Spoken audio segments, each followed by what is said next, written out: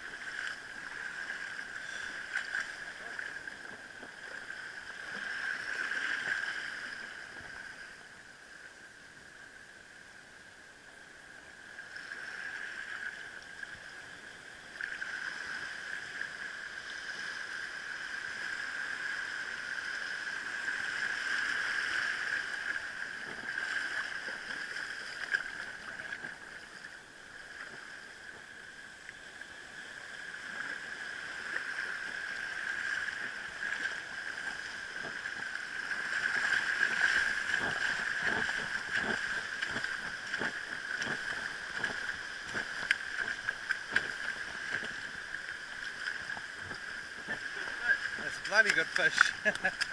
Yuck.